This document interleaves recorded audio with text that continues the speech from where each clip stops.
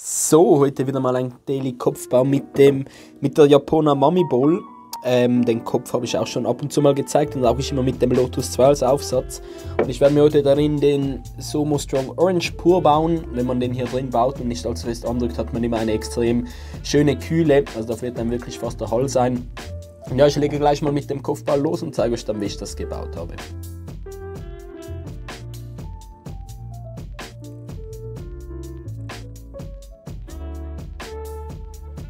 So, also der Kopf ist fertig gebaut. Ähm, wie immer hier aufpassen, dass man den Kopf nicht zu hoch baut, weil sonst gibt es Durchzugprobleme. Hier ist noch ein Haar von meiner Katze drin, perfekt.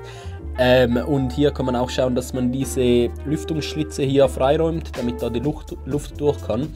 Dann sollte man keine Probleme mit dem Durchzug haben. Ich werde jetzt wieder den vorgeheizten Lotus drauf machen und dann sehen wir uns gleich wieder beim Fazit.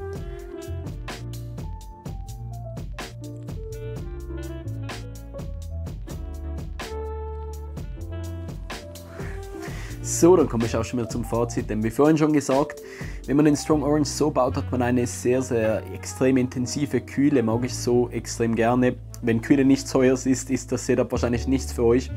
Aber am Anfang gefriert einem wirklich fast der Hals ein. So mag ich das halt beim Strong Orange. Und dazu kommt dann noch die süße Orangennote, die im Mund bleibt.